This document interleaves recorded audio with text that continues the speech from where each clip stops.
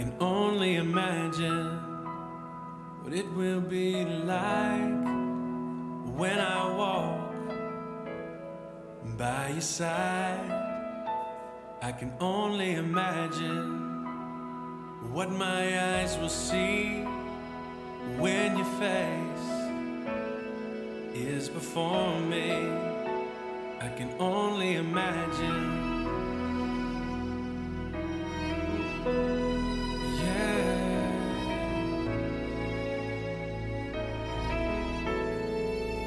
Surrounded by your glory, what will my heart feel? Will I dance for you, Jesus? Or in awe of you be still? Will I stand in your presence? Or to my knees will I fall? Will I sing hallelujah? Will I be able to speak at all? I can only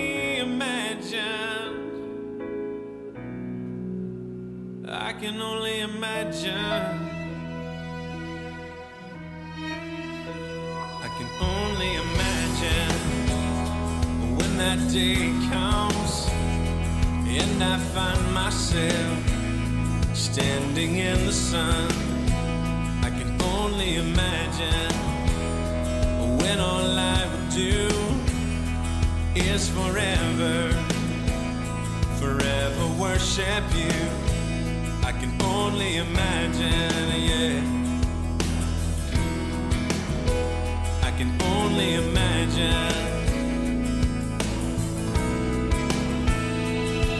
Surrounded by your glory, what will my heart feel? Will I dance for you, Jesus?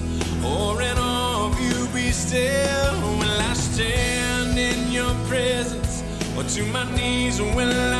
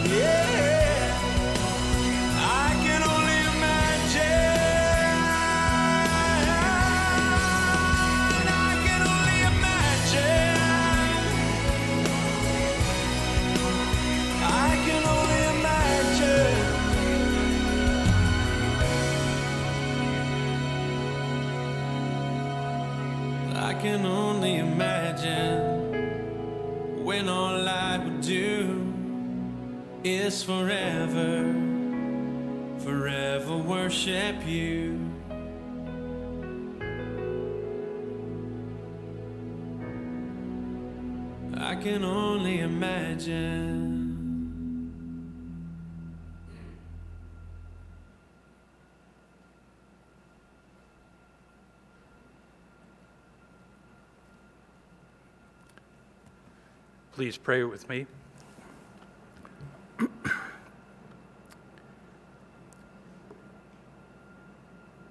Heavenly Father, we thank you for being here with us today. We pray that you would bless us as we pause to remember. And as we reflect upon Marsha's life, we pray that we might see you in that reflection. Lord, we pray that you might strengthen our hearts and strengthen our faith. And Lord, that we might follow you more closely as we consider the way that Marsha followed you. Bless our time together, we pray. In Jesus' name, amen. Good morning, and thank you for coming to celebrate the life of Marsha Schindler. who passed into the, to the presence of her Lord on April 28, 2020. As Marsha honored her Lord throughout her life, she would also want us to honor her Lord today. Marsha Schindler left this earth on April 28, 2020, to receive her eternal reward, and is now in the presence of her Lord and Savior, Jesus Christ, and a host of family and friends. She was a member of West Missionary Church Berne. Marsha graduated from South Adams High School, Huntington University, Indiana University Fort Wayne, and Purdue University Fort Wayne.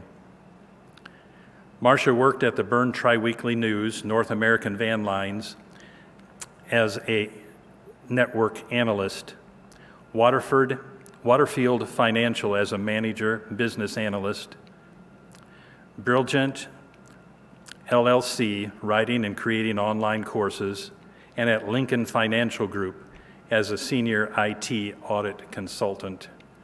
Marsha loved music. She enjoyed contemporary Christian choruses and songs, but she loved the old hymns playing the piano, singing solos and in trios, ensembles, choirs, and especially duets with her dear cousin Greg Luganville. Playing games, which her nephew Jonathan, with her nephew Jonathan, often introduced at Christmas gatherings, shopping, riding, and most of all, visiting family and friends. She loved the competition of the games and was raised to play to win, but play fair and be a good loser. She loved creating the Dutch Blitz tournament with her nieces and nephews and designing the traveling crown. She enjoyed creating and selling crafts with her mom and sister. Marsha was also a woman of passion and fairness. She was passionate about the physically disabled and less fortunate, and was also a woman of principle. She was friendly and kind, but she is also known to be bold and was not shy or afraid to speak up. She would fight for what is right and wanted to do her part to make life better for all. Her greatest joys were helping and teaching others, being welcoming, and writing and creating documentation. Surviving is her loving family. Beloved sister, Joanne Schindler, nieces Valerie and husband Mark Brito, Stephanie and husband Nathan Gleaves, Jennifer Schindler, nephew Jonathan and wife Abby Schindler, great nieces and nephews Sophie, Lily, Emmy, and Isaac Brito, and Thomas, Eleanor, and Samuel Schindler. She is also survived by many dear extended family and close friends. She has been reunited with her beloved parents, Max and Ellie, and her beloved brother and sister in law, Thomas and Linda, in heaven. Marsha's family uh, deeply appreciates your presence here today and your prayers and your support, and also all of the love that you expressed to Marsha throughout her life we have our memories of, of Marsha that we treasure in our hearts. Later in this service, you will have an opportunity to briefly share your memories of Marsha, so we encourage you to begin to think about what you would like to share. Marsha will be remembered for many things, but most importantly, she will be remembered for her faith. She had a close personal relationship with Christ that guided her throughout her life because of her faith relationship with Jesus, she, is, was, she was confident that all was well between herself and her God. Fittingly, her favorite song was, It Is Well with My Soul.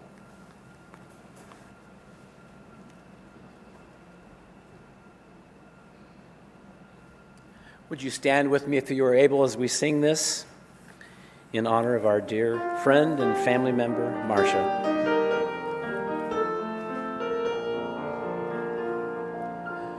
When peace like a river attendeth my way, when sorrows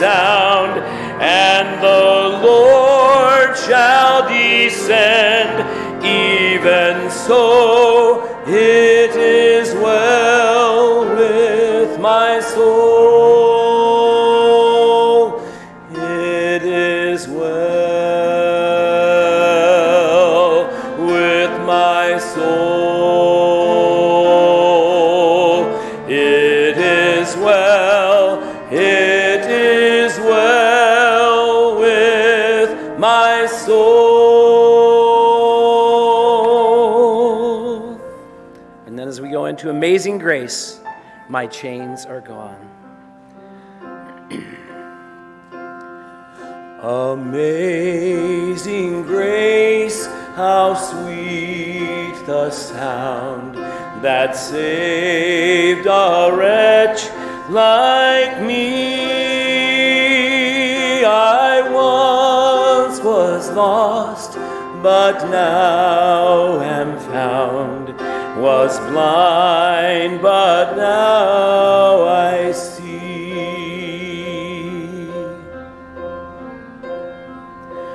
'Twas grace that taught my heart to fear, and grace my fears relieved.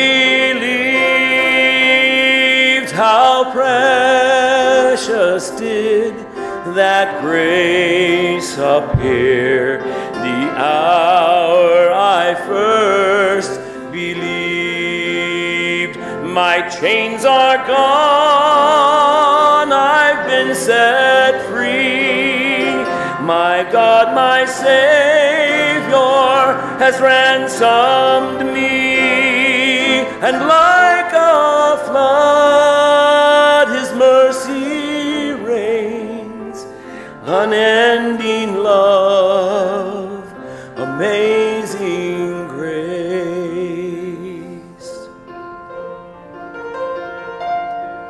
The Lord has promised good to me. His word my hope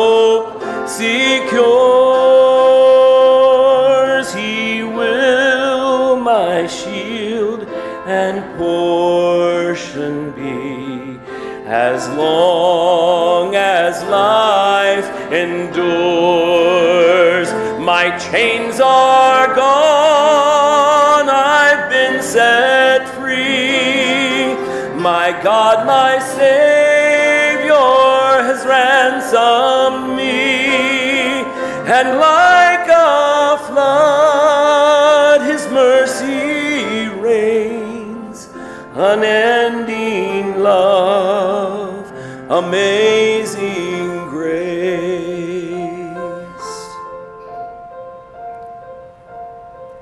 The earth shall soon dissolve like snow.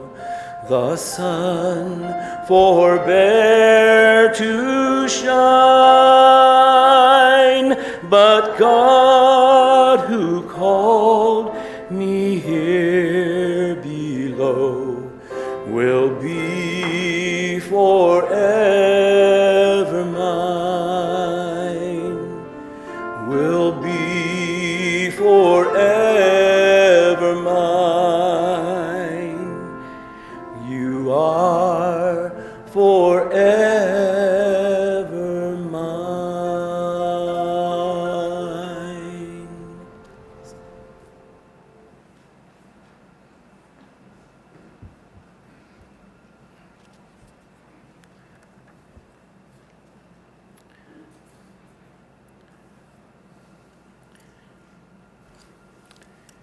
time when we share memories,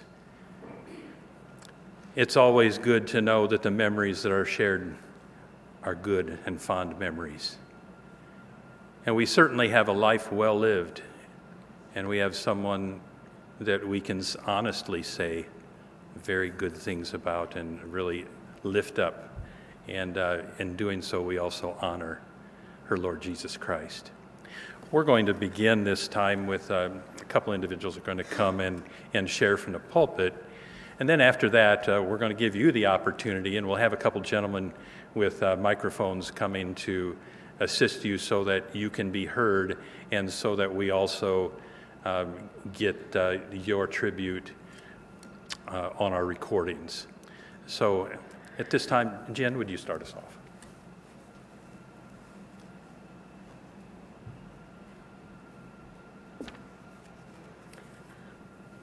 My siblings and I are wearing bright colors today in honor of Marsha, who brought so much brightness to our lives. I would like to share a few reflections on behalf of my sisters and me. It would be difficult to talk about Marsha without also mentioning Grandma Schindler and Joanne.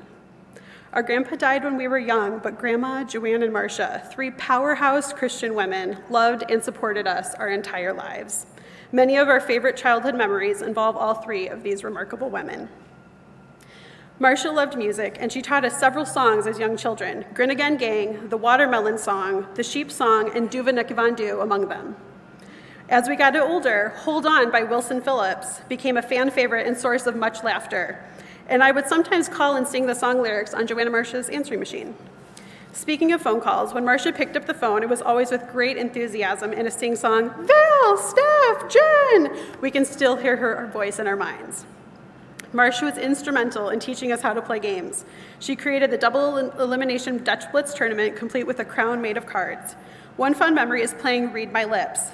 After accusing Marsha of having loud lips, we joked about putting a piece of plexiglass across the table to keep the noise from influencing our guesses. After mastering a game, we would often invent our own rules, such as changing pitch to the new improved game, Fitch. When playing Bonanza, we would decide if the game was Cutthroat or Christian Sister, where we would trade cards that would benefit others and not just ourselves. We spent many happy weeks over the years swimming at Margin bells. One of our favorite activities we were to, were to, was to pretend we were synchronized swimmers. Looking back and having attended an actual synchronized swimming event, I now realize how silly we must have looked, but we had fun all the same. My sisters and I were fascinated with makeup, so we would often sit at the foot of the bed while Joanne and Marsha got ready in the morning. Many conversations were had with all of us piled onto someone's bed. In fact, we often laid on a bed together and said, we could sleep like this if we had to. These traditions have now been passed down to a new generation, with Val's kids doing the same things. Marsha loved a bargain, and she would scope out deals for us at the annual Vera Bradley sale at the Coliseum. One year, Steph and I attended the event and served as runners while Marsha held the fort at home base as we attempted to find sets of matching luggage. Years ago, before internet spending took over, we would strategize a plan for Black Friday shopping. There was usually Team A and Team B, a divide and conquer approach to maximize early morning deals before rendezvousing for breakfast and coffee. Marsha was part of our cheering squad, traveling with us on our Bible quiz, invitationals, and finals. She taught me how to read a map and drove me around Indiana to visit Christian colleges. When Val was in college, she often took spur of the moment weekend trips to Joanna Marsha's house, which sometimes included contemporary Christian concerts. My sisters and I trekked down to Fort Wayne to see Stars on Ice multiple times. Marsha gave crushing hugs. She filled the room with joy and laughter. Marsha provided love and support. She provided friendship and a listening ear.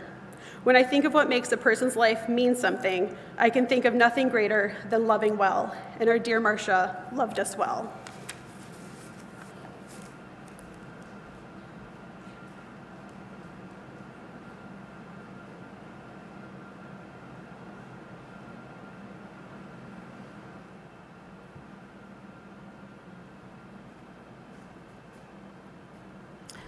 I'm Jeannie Frank, and I am reading this for my very, very dear friend, Joanne. I was blessed with a wonderful family. When Marsha died, another piece of my heart died with her. Marsha was not only my beloved sister, she was my best friend and confidant, my partner in crime. We were so close that I would tell people that Marsha was my twin sister, born four years later. she was always there for me as I was for her. She was such a fun person and made everything more exciting and fun. Marsha loved buying gifts for others, especially the hunting for a bargain, and then couldn't wait to tell you how much she had snatched it for. Her laugh was so contagious. I remember years ago being with her at a Hallmark store looking for greeting cards. We kept giggling as we read some of them, and others looking for cards would start laughing with us. Marsha was truly special with a magnetic personality. I miss her so much, but know she is now completely healed, and I will be reunited with her someday.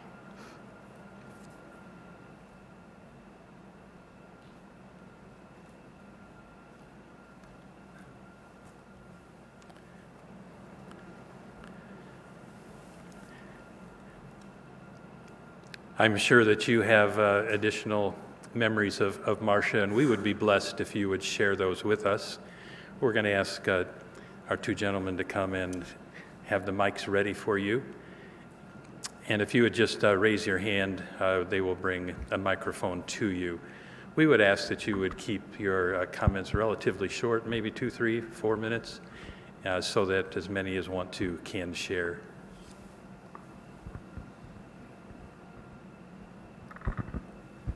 Hi, it is a real privilege to be here today. And um, we didn't know if we would make it because we were in Washington, D.C. But I'm Audrey Lichty Ka, and I grew up with Marsha and the Schindler family. And uh, she was a dear, dear friend for many years. she was often a friend when I was not as friendly back, and I will always remember how faithful she was. She was also one of the people that I sang with. We both loved to sing and play the piano. And so whenever she would come to my house or I would go to her house, we would always sing and play at the piano. She would do the treble clef and I would play the bass and then we'd harmonize. So th- that was a lot of fun with her. And then also, she was such an encourager through the years. Uh, her faith in Christ and her desire to walk with Him was very evident. And so if I would be down about the latest boy who didn't like me, she was uh, always there to encourage me and, and love on me and um, turn me back to the Lord. And so I just wanted to share those thoughts with you. Thank you. Who will be next?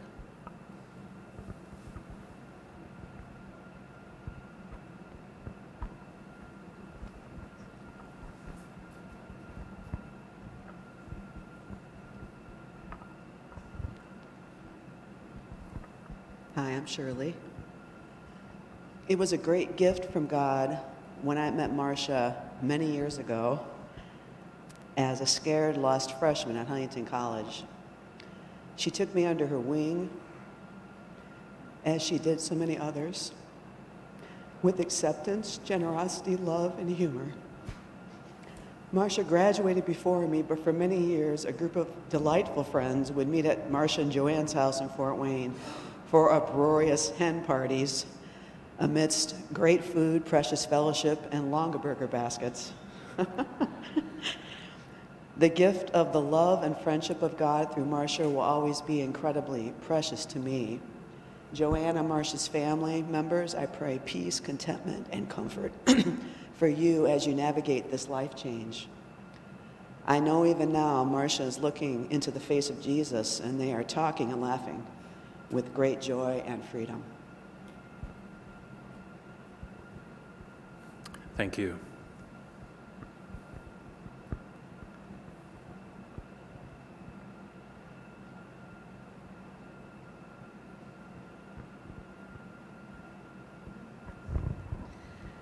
I remember the Neuenschwander reunions were always a lot of fun because we knew that if we sat with Marsha and Joanne, it would just be a fun packed day. And we had so much fun uh, with laughter there. Joanne, Marsh and I were good friends, uh, first cousins, but we were good friends. And when we watched movies, we really got into them. And we would catch each other. We were all crying and then when we saw each other cry, we started laughing at each other and, and just, we just had a lot of fun together. And, and she, and, and when our families would go through a trial or something, they were always there for us with prayers. I remember Marsha and uh, my brother Greg and Wayne Bunker. They were like the Christian version of Saturday Night Live. they were awesome. I mean, they, they just played off of each other. And um, I told my husband this morning, I said, you know, this is kind of a gritty day, but Marsha would have made it a sunshiny day. And that's what I loved about her. And Joanne, too. They, they're both very special people, and uh, we love them dearly.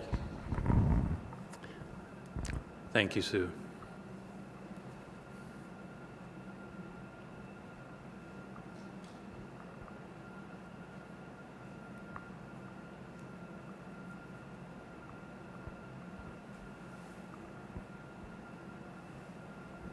Kathy. Um, in 2019, we had a fire in our house and about everything was destroyed in it. And we were at a funeral, I forget who it was for, and we were sitting across Marsha and Joanne, and I said something to them, would you help me find some things for the house because they have really good decorating taste. Well, Marsh would have me come up to the house, and she ordered all these things for me to choose from. And she went over and above what I ever expected her to do to help me. Um, I remember at the Neuenschwander gathering, we always wanted to know what the Schindlers were bringing because the food was so good. Um, the other food was good too, but um, Marsha and Joanne hold a very special place in my heart, and I'll always remember her laughter. Thank you.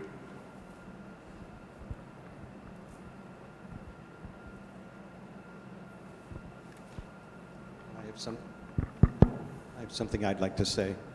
Um, my name is Mark Brito. I am uh, married to Valerie, uh, Marsha's niece.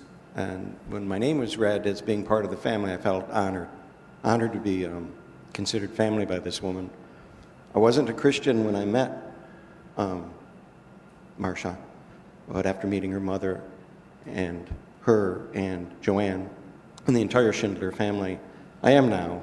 And I, I uh, and I think a large part of that was due to her wonderful personality, her, her infectious smile and laughter, and as her crushing hugs. Uh, she, when you knew her, you, you knew, you felt her love. You felt her love. So. Thank you.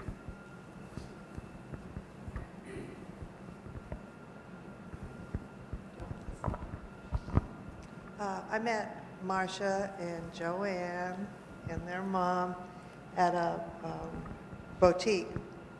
So then I'd see them every year at the boutique. Till one year, I ran into Joanne at the post office, and we realized that she lived about, they lived about a mile from me. And we became fast friends. The three of us would go to those Vera Bradley sales and hunt down the best deal. And uh, Marsha would call me with the best deal that she just found with a coupon. And um, so we, we would get together for dinner at Bandito's and be there for like two hours as we discussed the world situation in our lives. And they were both very, very supportive of me and the things that I would go through. I miss her dearly, as I know Joanne does. And Joanne and I keep getting together and consoling each other. Thank you.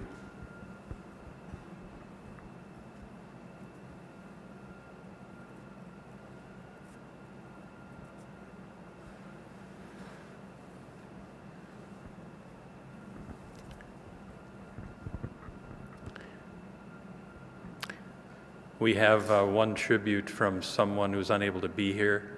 Uh, this tribute comes from California, and uh, we're going to show that one on the screen.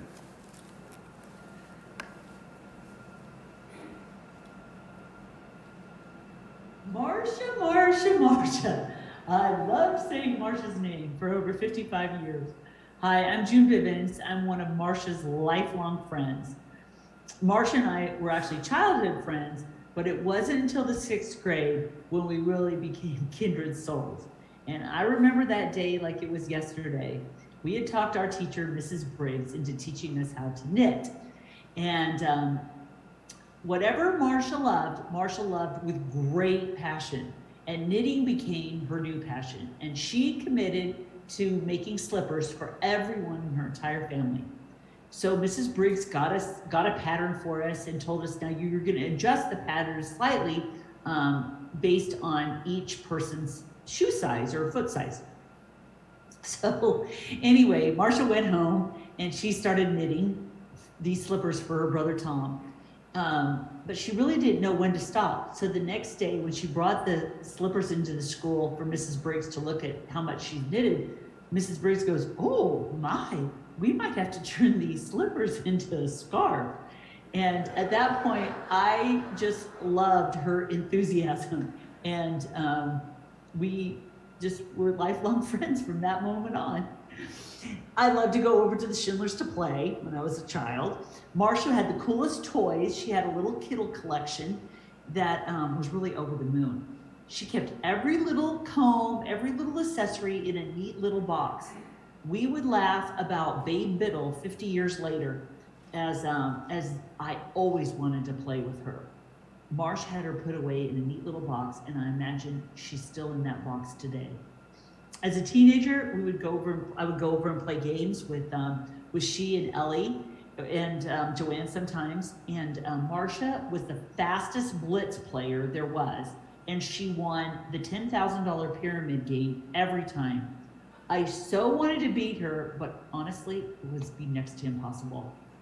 When we would get thirsty, the Schindlers kept a pitcher of cold water in their refrigerator. And I don't know why, but I had never seen that before. And um, I have to say, I still love drinking cold, cold water because of that. Anyway, her dad worked at, um, her dad Max worked at Micromatic or Micro Precision, I can't remember the name. And somehow that was before Sam's and Costco and all of that, but he was able to buy these big boxes of packages of M&Ms and they kept them on the they kept them above the refrigerator and Marsha and I would sneak over there and um, and get a package and oh my gosh, we loved it. And to this day, M&Ms are still my very favorite candy. Going over for dinner was an unbelievable experience. Ellie was a fabulous cook and she could whip up things in that small kitchen that would just make your um, just make you smile. It was a haven of peace. I never heard the schindlers fight or raise their voices. They only encouraged one another and me or whoever else was in their home. I also remember how fancy i thought the schindlers were and how lucky joanne and ellie were to work at cts i loved hearing all their stories and i wanted to join them but for some reason, neither Marsha nor I ever worked there. When my dad um, died so unexpectedly, unexpectedly, it was Max who would take Marsha and I out for dinner. You know, he was so instrumental in uh, my teenage years. Oh my God, goodness, we loved going to the Dutch Mill in Bluffton or to Coppice Corner in Monroe. Now, Marsha got her license before most of us, and so she drove us around Berne. We were always looking for who was out and about and who we could talk to. If we really couldn't find anyone, then we would sing at the top of our lungs while we were driving around. You know, Marsha never met a stranger, and she really loved everyone. She always saw the best in them. And this was, I really believe this was instilled way deep down in her soul and proven out in many life friendships. But one of my favorite stories was in French class. Mrs. Neuenschwander had us sit according to our grades. Kevin Lehman always got the number one seat, but if Marsha and I got the same grade, we still weren't allowed to sit together. She always put people between us until one day, utterly exasperated, she said, I can't separate you two. You are just friendly with everyone. Over the years, our friendship grew, though we didn't live near each other. The cell phone was our friend and really one of the greatest inventions. I don't know how Marsh did it, but she always found time for me. We would talk, you know, sometimes for hours on my long, long drives from um, long drives to and from customer, customer meetings all over Northern California and Nevada. We talked about everything, anything, and sometimes really nothing. she was wise beyond her years, and her perspective on what was happening was inspired. She never held out, she never held back on pointing out, you know, what I might be missing or not really seeing in, in this situation. I honestly, I can't stand it. I still wish I could call her today. Oh, we would laugh and we would cry and we would share all of our favorite things. The last couple years of Marsha's life were really tough. Joanne, you were the best sister, best friend she could have ever had. We spent a lot of time talking about heaven, about dying, and what really matters. And I can say unequivocally, she knew that she was loved by God and she loved him right back. She knew she was loved by her family and she loved them right back, as well as all her friends. Really, honestly, she loved every single person that she ever encountered. Marsha had a great life. I can only imagine her now. She dreamed of having a new body with no pain and was looking forward to singing with the other angels in heaven. Marsh, you made such a great impact on my life, and I love you. Thanks.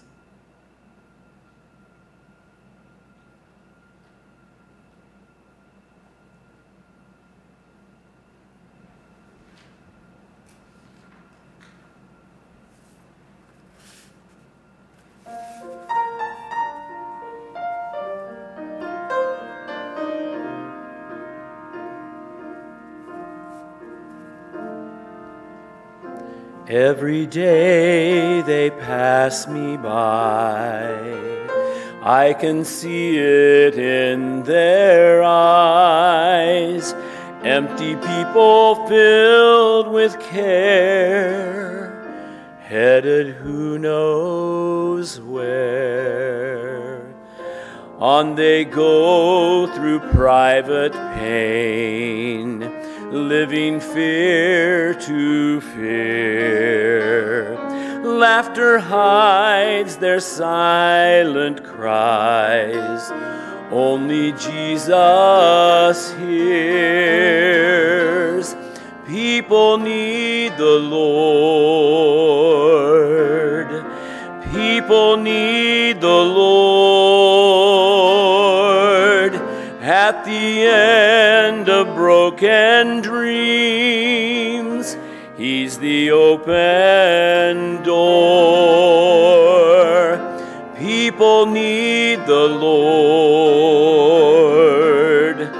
People need the Lord. When will we realize people need the Lord?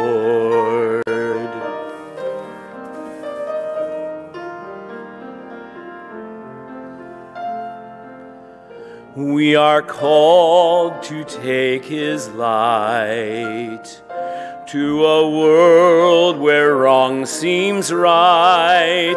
What could be so great a cost for sharing life with one who's lost? Through his love, our hearts can feel all the grief they bear. They must hear the words of life only we can share. People need the Lord. People need the Lord. At the end of broken dreams, He's the open door. People need the Lord. People need the Lord.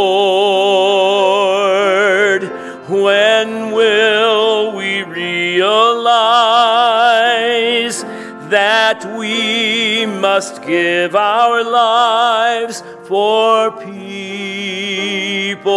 need the Lord.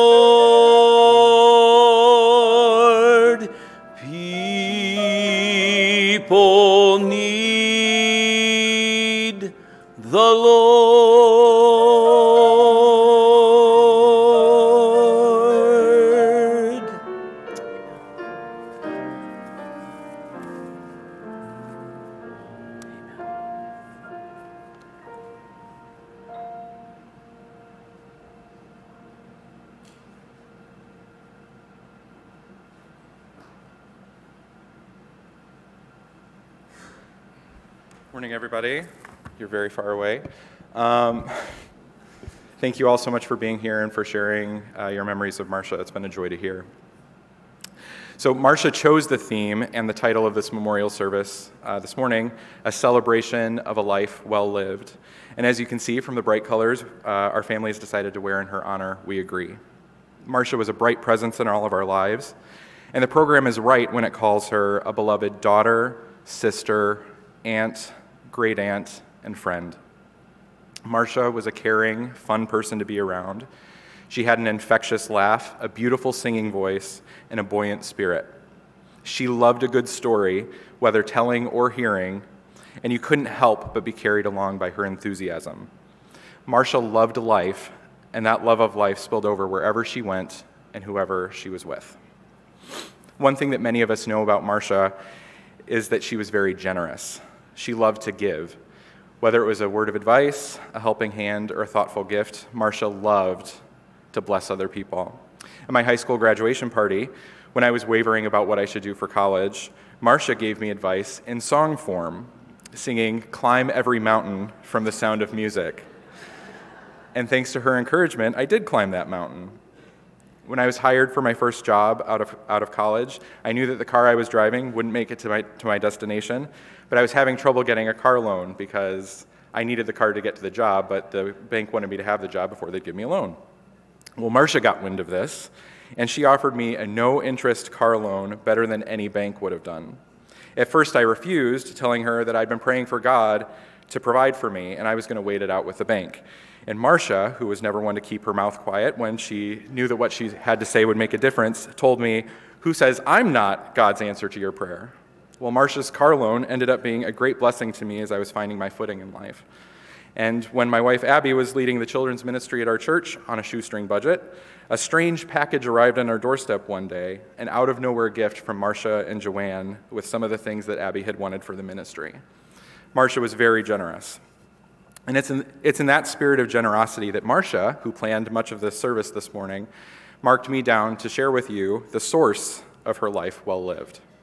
While it's possible to just be a kind or a generous person, or just to love life, in Marsha's case, there was more to it than that. To help talk about Marsha's life well lived, I'm going to read a very brief story that Jesus told. Here it is The kingdom of heaven is like a treasure that a man discovered hidden in a field. In his excitement, he hid it again and sold everything he owned to get enough money to buy that field. That's it. That's the story. It's just one verse. Jesus tells this brief story to show us what it's like to discover the kingdom of heaven. Now, when we think of heaven, we often think of some ethereal place far off with clouds and harps, far removed from our everyday lives here on earth. But when Jesus spoke about the kingdom of heaven, he was talking about the power and presence of God breaking in here on earth now, a new reality that everyone was invited into. The Gospel of Mark tells us that Jesus' ministry was to proclaim, The time promised by God has come at last. The kingdom of God is here. Repent of your sins and believe the good news. Jesus here uses the word gospel or good news. Jesus' announcement was more like a news broadcast than, we think, than what we think of as a church sermon. Jesus wasn't selling a program or promoting a religion. He was inviting us into the way that things really are, a reality that, her, that had arrived in who he, he, in who he is. So in the story, Jesus says, The kingdom of heaven is like a treasure that a man discovered hidden in a field. In his excitement, he hit it again and sold everything he owned to, to get enough money to buy the field. So someone's walking along in a field and they discover this new and life changing reality a treasure beyond their wildest imagination, buried just below the surface of what they thought was an ordinary field. I want you to imagine that something like this happened to you. Maybe you're walking through a store and you find an incredible bargain, something selling for far less than it's worth. Or if you're a collector, the very item that you've been hunting down for years. That's what you find. What would you do? For those of us who knew Marsha, we don't have to imagine too hard. Marsha had an eye for quality. A collector herself, Marsha knew what, good, what the good stuff was. And Marsha also knew what the good stuff was worth, which is why she loved to discover a bargain, kind of a recurring theme, to find something of quality priced far below its value. She was a master at finding value where others might have missed it. Jesus says that finding the kingdom of heaven is a lot like that. We've stumbled into something, the value of which we recognize to be far greater than the asking price. When we find a fortune changer like that, of course it's worth it to buy it, no matter what the cost is. It's a simple question of economics. In this case, in finding the kingdom, the cost is high. It requires everything everything we are, everything we have. The prospect of paying that high a price would put a damper on the bargain if the prize wasn't worth it. Yet, as we see in the story, the man liquidates all his assets in his excitement. He's excited to do it. Although the cost is high, he does not see the proposition as a loss in his ledger, but as a tremendous gain. He knows there is much more treasure in the field than there ever was in his bank account. And that's what it's like to discover the life that God offers.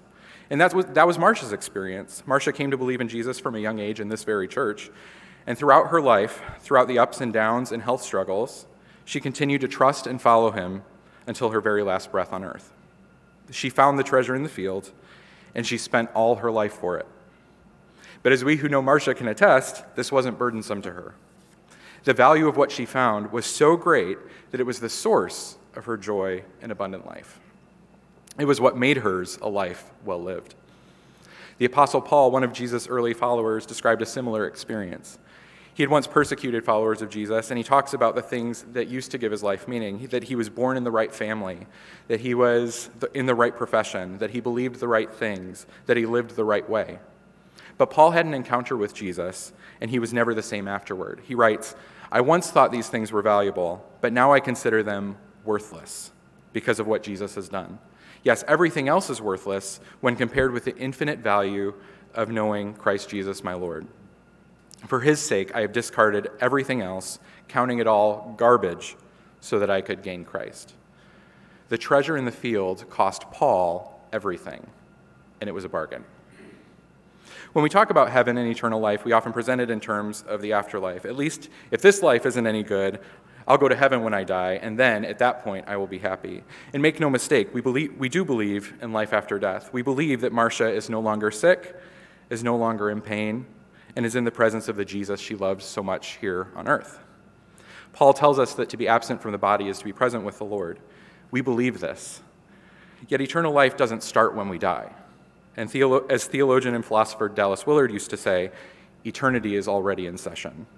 We're not stuck on hold or in a waiting room wondering when we'll be called back and the real thing can get on with it. Jesus said, I came that they might have life and have it to the full. When we look at Marsha's life, that's what we see. We see a full life, a life well lived. We don't see someone who is worried about trying to earn God's approval. Rather, we see someone who is so captured by the mercy and love of God and who lived as a beloved child of God. C.S. Lewis once wrote, Aim at heaven, and you will get the earth thrown in. Marsha lived joyfully in the awareness that she was receiving more than she was giving. By orienting her life toward Jesus and his kingdom, she got the good life thrown in. When you find the treasure of greater value, everything spent in pursuit of that treasure is a bargain.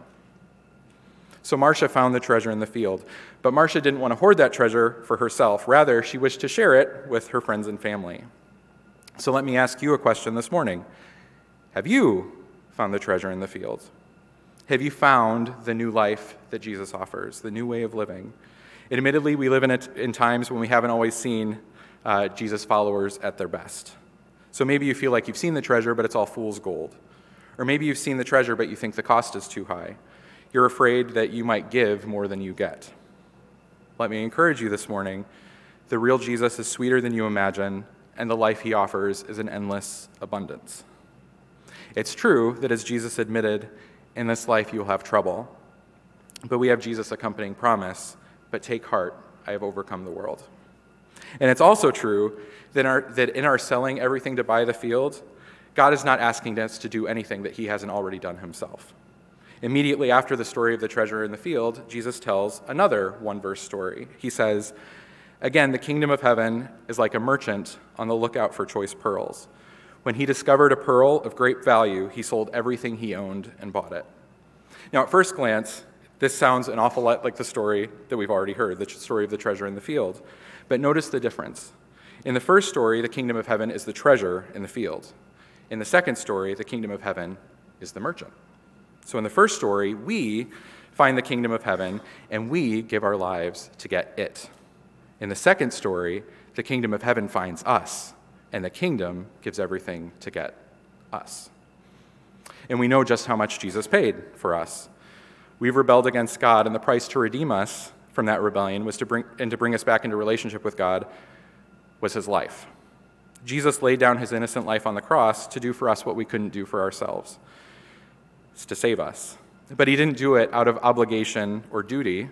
Rather, much like the man or the merchant in Jesus' stories, the Bible says that he did it for the joy set before him, because to him, we are pearls of great value. Jesus' offer of life isn't just for the quote unquote good people. In her notes, Marsha was clear that she wanted everyone to know that she was a sinner just like everyone else. And Paul tells us that God demonstrates his love for us in this while we were still sinners, Christ died for us. He didn't wait for us to clean up our act, which is impossible for us to do anyway. He expressed his love in his death while we were still sinners. So that's the gift on offer this morning life, abundant life, that starts today and lasts through eternity. That's the parting gift that when Marsha thought of her friends and family gathering to celebrate, she wanted to share with you. And claiming it is easy, if costly. Paul tells us that if you confess with your mouth that, that, Jesus is Lord and believe in your heart that God raised him from the dead, you will be saved. That's it. Confess and believe. Confess. Agree that Jesus is Lord, the one in charge, that, as the Bible says, you are not your own. You were bought with a price. And also believe that God raised him from the dead, that he is still alive and is able to intercede on our behalf today. Confessing and believing is something you can do today, right now in this service, and it's something that will change your life. I want to close briefly with that last part believing that God raised Jesus from the dead, because that's the source of our hope. Truly, while we want to celebrate Marsha's life well lived, we also recognize that there's a hole here on earth. There's one less seat at the dinner table, one less hand dealt in cards, one less laugh at the stories we tell, one less voice singing Christmas carols. And it's right to mourn this loss. We miss Marsha terribly.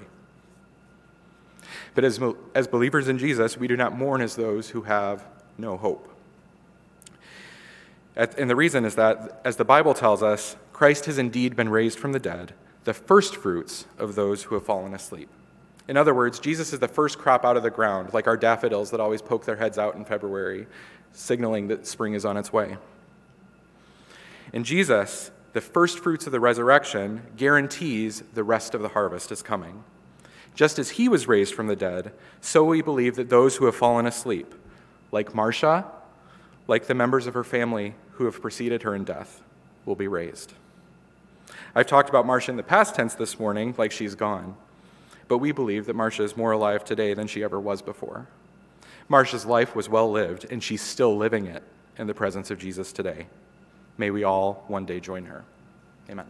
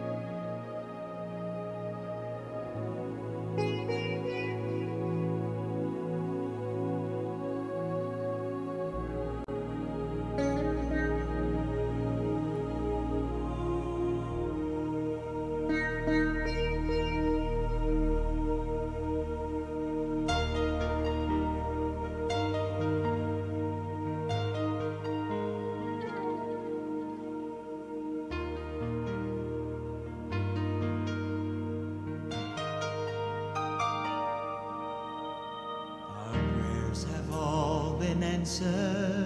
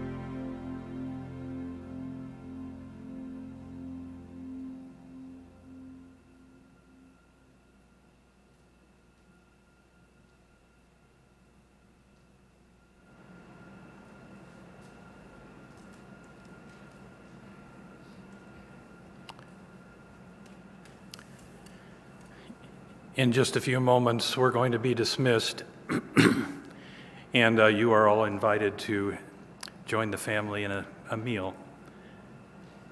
We would really encourage you to stay and be a part of that because it's a time when you can continue to share and fellowship with them in Marsha's memory. We're going to pray together, and uh, then we're going to dismiss. We're going to ask the family to. Uh, to lead us out if you'd remain seated until they are uh, about to exit the, the sanctuary. And then if you would uh, join them in the fellowship area, um, we'll enjoy a great meal that the ladies have prepared for us. Let's pray together.